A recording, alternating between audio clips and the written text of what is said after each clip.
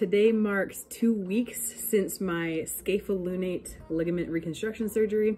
And um, if you watched the first video, you saw me just showing you a little bit of how, what my mobility looked like at the time before the surgery. So I had my surgery on a Tuesday and they did a nerve block in my shoulder. Um, I, I, um, from what I remember, it felt like they were, so they were doing an ultrasound here, just like finding the certain, the group of nerves, and then they uh, did a nerve block. So I could not feel my entire arm um, until I started feeling it more on Wednesday afternoon. The nurse, when, when I was leaving, she like, I, I watched her touch my fingers and she was like, can you feel this? Can you feel this? And I was like, yeah, yeah. And I, after I got in the car, my friend was driving me home, I realized um, when I was touching them, I realized I thought that I could feel it when she was touching them. But if I would like look away and then just like touch a finger, I couldn't tell which finger I was touching. I did. I actually didn't have any feeling. Um, so it was kind of crazy and a weird sensation. Um, I would um, sleep in the corner of our um, of a of our couch and just rest my arm on the pillow next to me. So most of the time my arm was elevated, and I think that helped a lot. I had some swelling. It mostly could be seen um, just like here in the in my hand. Um, this this is just padding right now, but it was like raised slightly.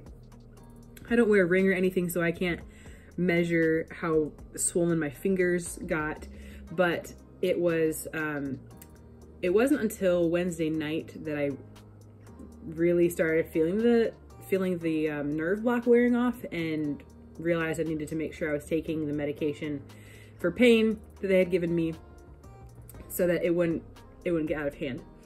And Thursday, I actually took Thursday was the first day that I started taking as much, like the maximum dosage of that narcotic that they gave me. They said I could take one to two every four to six hours. And it was like, I really needed to take two every four hours. Um, I really didn't like that. Like it, I don't know how to describe how it made me feel mentally other than my brain running around in circles inside of my head. Um, I often felt, it was almost like I felt dizzy, but not actually dizzy. So I was hopeful that I could get off those as soon as possible and really wanted to, but Thursday, the pain was at the max. Like I have not felt any pain worse than Thursday. Um, it might be worth noting that Tuesday evening when I was like leaving the hospital, I felt super nauseous and I asked I could have some nausea medication just because the last time that I had a surgery, I felt very, very nauseous and I, I couldn't keep, um, I, I puked maybe 20, 30 minutes after I'd taken a painkiller and I didn't know if I had puked the painkiller itself, so I just didn't take another one. I would rather err on that side um, because I have a high pain tolerance and I just I just thought, well, whatever, it'll be okay. And it wasn't okay, and things went downhill super fast. So I asked for a nausea medication and they gave me a off-brand of Zofran, which is like a nausea medication that you can dissolve under your tongue so you don't have to swallow it. Um, and that helped a lot. And I waited like 30 minutes and then started drinking water and it was fine. Um, I will say the, they, so they did a nerve block and they also put me out entirely. Um, the, when the, the medication the, the anesthesia that puts me, puts you out, it does cause constipation. And I experienced that the last time I had a surgery, which was, um, I mentioned that previously, but I had my appendix removed. And that kind of constipation makes you feel just absolutely disgusting. You're hungry and then you also don't want to eat. Um, like when you get hungry, you don't want to eat because you feel like you're just full even though your stomach is empty. Um, it's really weird. And I took Miralax, just like the, an over-the-counter uh, stool softener. I took that the day before surgery, Monday night, and then I also took it Tuesday night after I got back home from the surgery. So I, I believe I also took it again Wednesday, um, just to be safe. And I didn't have any constipation. So I'm actually really glad I did that because that just adds a whole nother, like a whole nother sphere of and reasons for feeling bad after surgery. I already felt really tired. Um, but so they yeah they did knock me out. The when they were when the one guy was doing the nerve block um, in this shoulder, the uh, the uh, another lady was. Uh, I think he said he, that she was putting fentanyl and something else in my IV. He's like, "Yeah, she's. I'm. I'm gonna. I'm gonna make some of your muscles in your arm jump around, but you're not gonna care because she's giving you fentanyl and something else, and uh, you you really won't care." And I was like, "Oh, okay. Well, I remember this." And he's like, "No, you probably you probably won't." He's like, uh, "Some a lot of a lot of people are chatty while we're doing this, but you you won't remember any of it. Mostly mostly young ladies are chatty um, while we're doing this." And I was like, "Oh, okay." And uh, I was like, "I'm gonna try to remember this," and I do. So that's funny. Um, but when yeah, the nerve block, he was like like a certain like like my bicep would like flex like like jump. Um, and it was like a really weird sensation, but it was interesting. It, I mean, it didn't hurt or anything. It just felt weird and funny. Um, but so anyway, yes, uh, I highly recommend in advance of the surgery using some kind of stool softener just in case you end up do getting constipated um, or just like to fight the effects of the the anesthesia that puts you out. So I was asleep for that three or so hours during the surgery and um, fast forward back again. So I had said that uh, Thursday was, the surgery was on Tuesday and Thursday was the worst pain day. Thursday, the arm, the nerve block was definitely totally worn off. Wednesday, still throughout the day, I would like wake up from a nap and I would, it would feel like my arm was like up against my body or I like, before I opened my eyes, I was like oh, why am I holding my arm like this? And then I would open my eyes and my arm, arm was like just on the pillow where I had left it. Um, so I definitely couldn't feel it as much Wednesday. Um, the Friday, that Friday was when things started getting better and I was really grateful for that. Um, with the surgery being Tuesday, finishing, waking up from it Tuesday night, I, so that was, uh, they were two full days after the surgery where I was taking the narcotics. And then Friday, I was just like, I want to be done. I'm so done. and um, I had started on Thursday because it was so bad. I had gotten some recommendations from um, some friends in the medical field. And I had been on Thursday, I started, I was taking the narcotics every, I believe every six hours. Um, I have a, I have a, I had a record of how often I was taking everything, and uh, the the narcotic that they gave me was Norco, and I I can share that the the details for that in uh, the description of this video if that'd be helpful for anyone. But uh, I had started taking Tylenol in between those. So the Tylenol was to help with the swelling too. The swelling was also the worst on Thursday um, the swelling and the pain. And so Friday, I was like, well, I wonder if I can just like take the Tylenol that I've been taking and keep like maybe skip a dose a dose of Norco um, or just like see how it goes. Maybe I can because the the Norco has um, the Norco has acetaminophen. I, I might have said I started taking Tylenol in between it. That was wrong. I just was taking ibuprofen in it. Tylenol has acetaminophen in it so does the Norco. And you don't want to take too much acetaminophen um, because of, I believe, how that can affect your liver.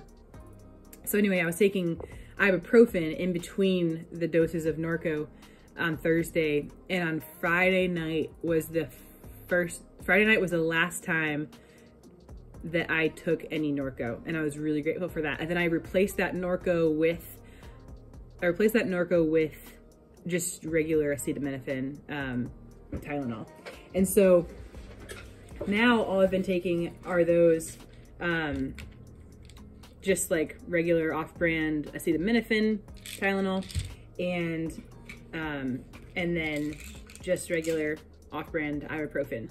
This has been really helpful to not be on the Norco. I I last took the Norco Friday night, um, and I did not feel normal mentally until Monday morning, which was great because I went back to work Monday morning.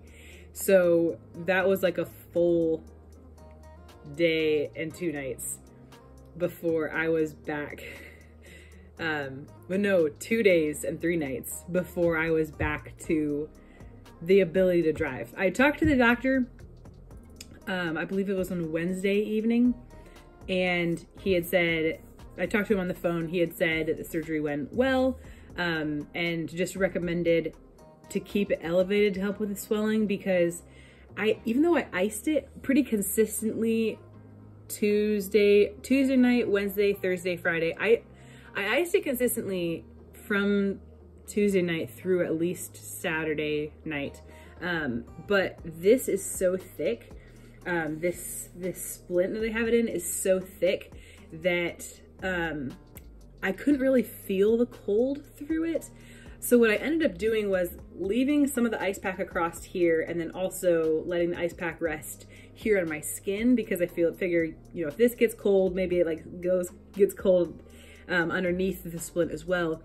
And, and then I did the same here, either putting the ice on my fingers or the ice pack on my fingers or like holding it kind of in my hand, which was actually really helpful. My thumb was visibly swollen. It was mainly my thumb and my palm here that was that were visibly swollen um, in that first week after surgery. And um, just keeping the ice pack around around the edges was really helpful. Um, and yeah, so when I talked to the doctor, he had said he had said mainly keep it elevated. That'll help a lot with this swelling. That'll help most because it's so thick it can't really feel the cool. And the reason that they don't put you right into a hard cast, at least this is what he had mentioned, was they want the swelling to go down. So um, this is like, this is like flexible and uh, this is just like an elastic, elastic bandage on top of um, this cotton stuff. I had kind of, this cotton material was kind of sticking out through um, all around the outside and I kind of like tucked it in because I didn't, didn't like the look of it. And then I tucked the bandage in around the top of it. Um, I have found that you can like stuff Kleenexes or stuff in here and like just store it. I was in a wedding last weekend and uh, hid a little bit of Kleenex in there. Um, but uh, so anyway, the doctor said just keep it elevated and when uh, the swelling like we'll put the we'll take this off, take the stitches out, and put the put the hard cast on when uh, with your with your next appointment. So my next appointment is tomorrow, which will be two weeks and one day um, from the date of the surgery. They wanted to have it last Friday, but this was that was when I was like gone for the wedding, so I pushed it out further. Um, this this splint is kind of cool. So I can feel like this, I don't know if you can hear that, but it's like a metal, it feels like metal. It might be plastic. Um, it just feels hard. Uh, splint that comes down here and then, uh, and then comes up like this. So it feels like it's shaped like this and it's kind of, it's kind of rounded here. Um, I did, um, I did once feel like it was itching right here, which is where the incision was, and I wasn't thinking about that. And I like pushed on it just a little bit and it was like, ouch. that was like earlier on. So I've just, I've just avoided pushing on it on, on this side of it, which was not very smart. um, I was telling my roommate, um, I figured out, I found out one thing that, that is painful to do, and I was like, well, two things. And she's like, pushing on the incision site. And I was like, well, that, yes. but also like trying to put on a sock. Like I couldn't, I can't really grip or like pull or anything. Um, when I talked to the doctor the day after the surgery, he also said that just moving your fingers would be helpful with swelling. So, um, my, my thumb actually, even today, feels like it's like partly asleep. Like it kind of feels tingly, almost like the, the nerve block didn't completely wear off. Um, I don't think that would be the nerve block, but um, I can, uh, this is like my hand resting. And this is as far as I can open it without like feeling any tension or pressure in here. And then if I go further, I can start to feel like it like pulling a little bit in in my wrist. Um, but that's not bad. and when I I can kind of make a fist a little bit. I don't really have any grip though. Like it, this is this is pretty. My grip is pretty weak, but I am. Yeah, I mean, I'm I'm progressing and it's really not swollen, and I'm I can I can like carry stuff around like really light, like pieces of paper, and um, that's that's helpful. I did this last weekend when I was at the wedding, I did a bunch of line dancing and there's one dance that I like uh, led, like the, I don't know if you know, anyone knows the church clap, but I was like clapping over my head when we were supposed to be clapping and then like pointing, like moving this way, moving that way, going back. And I was like, okay, I'm not going to cut back on any of the painkillers because I know that when I move around a lot, it hurts more. So I took like the full dose of Tylenol and ibuprofen that day that I had, that I have been taking. And I felt sore on Sunday, but I, it didn't like feel more painful. So I, and I generally only feel pain when it's like time for the next painkiller or like a couple hours after the next painkiller. But I will say that yesterday I had, I instead of taking ibuprofen in the morning, Tylenol in the afternoon, and then ibuprofen again at night, I just had the first two doses. I only had ibuprofen in the morning and Tylenol in the afternoon. This morning, I felt I could like feel my arm, my, my wrist a little bit more and I could like, it felt like I could feel the incision site, but it wasn't like super, super painful. And I had, I took some ibuprofen maybe at like 9 or 10 a.m. So a little bit later than normal, even, even though I had skipped the evening dose last night. So that's encouraging to me. I don't want to keep taking all of this medication and I might see if I can, I, I'm, I'm, planning on just seeing how today goes with just the ibuprofen in the morning um, and maybe be ready to take a little bit at night. I also have been propping my arm up at night like this on a pillow, on a large pillow next to me. I have two pillows inside of a pillowcase to kind of like give it some, some actual support and lying on my back so that it is up higher and it won't I won't like do anything stupid or roll over on it or anything like that. I can, if I like grab something and I pull, I do feel it like that. It will be painful. Like if I get in bed and I try to use this arm to help me get in bed, it does hurt. Um, but I, so it's really not a, it's not a temptation to use the arm at all, this, the arm or the hand at all because of just, I know that it'll hurt. Um, so uh, one of one of my friends came shopping with me and like put everything in the car and like didn't even let me use my right hand and was just really sweet and helping out.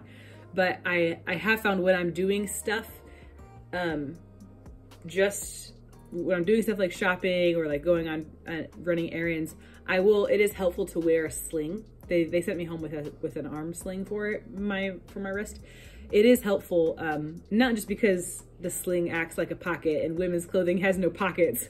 Um, and I can stick my phone and my keys in the sling. But also just because um, I, it's, it's obvious to people that I have, it just, I, I have an injury and I don't have the ability to do things like I normally would. So people will hold the door open. If, I, if like one hand is full, they realize I can't get the door with my other hand. So anyway, I am getting the stitches out tomorrow, which I'm very excited about, and I'm really hopeful that, they'll let me see and watch them get the stitches out because I think that's really cool. And then they'll put this in the hard cast. So I will plan on making a third video at some point with the hard cast. Right now, I they had initially told me that I would be in this in the hard cast for 10 weeks. I don't know if the time in the splint, these two weeks in the splint, count towards that 10 weeks. I hope so, but we'll see. But then after the 10 weeks is when they would put the, uh, when they would take the pins out. So anyway, that is, that is the update, the second update for this scapholunate ligament reconstruction surgery. And if you have any questions, feel free to drop them in the comments. I don't really check my YouTube very much, but I will be happy to if um, if I see your questions. So I hope that this is helpful if you're planning on having this surgery. Um, yeah, I would just say trust the sovereignty of God and um, pray that the doctor does a good job. I'm excited to see how this, I'm really excited to see how this gets, um, how, how I recover essentially. Um, because I know that it was not a, a, uh, a good solution to just keep hoping the pain would go away and uh, uh, continued to do nothing and ignore the problem because the problem was just getting worse. So for those reasons, I was really excited to actually do the surgery. Anyway, this video is too long, and if you watched to this point, thank you for watching.